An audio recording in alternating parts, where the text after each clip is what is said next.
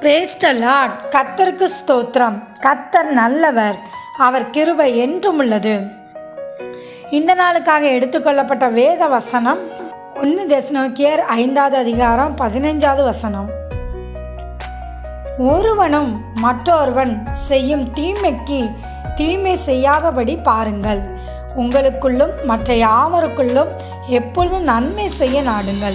ஆமே இதை பார்த்து கொண்டிருக்கிற பிரியமான சகோதர சகோதரிகளே கத் கத்தருடைய வார்த்தை சொல்லுகிறது யாராவது நமக்கு தீமை செய்தால் அவர்களுக்கு நாம் தீமை செய்யக்கூடாது நன்மை செய்ய வேண்டும் என்று கத்தருடைய வார்த்தை சொல்கிறது.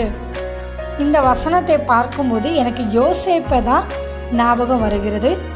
யோசேப்பு என்ன சொல்கிறான் ஆதியாகமோ ஐம்பதாவது அதிகாரத்தில் இருபதாவது வசனத்தை பாருங்கள்.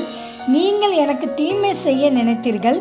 தேவனோ இப்பொழுது நடந்து வருகிறபடியே வெகு ஜனங்களை உயிரோட காக்கும்படிக்கு அதை நன்மையாக முடிய பண்ணினார்.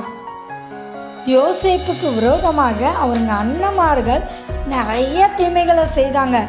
ஆனாலும் கத்தர் அந்த தீமையை நன்மையாக மாறச் செய்தார். பார்த்தீங்களா அதே போல் நாம் யாருக்கும் தீமை செய்யக்கூடாது. அவங்க எனக்கு தீமை செய்துட்டாங்க. பதிலுக்கு ஏதாச்சும் நான் செய்யணும்னு அப்படிப்பட்ட எண்ணம் நமக்குள்ளே கிறிஸ்தவருக்குள்ளே இருக்கக்கூடாது. நீங்கள் அவர்களுக்கு நன்மை செய்யுங்கள். கர்த்தர் உங்களுக்கு அதை காட்டிலும் பெரிய நன்மையை உங்களுக்கு செய்வாராமே தேவன் தாமே எங்களை ஆசீர்வதிப்பாராக.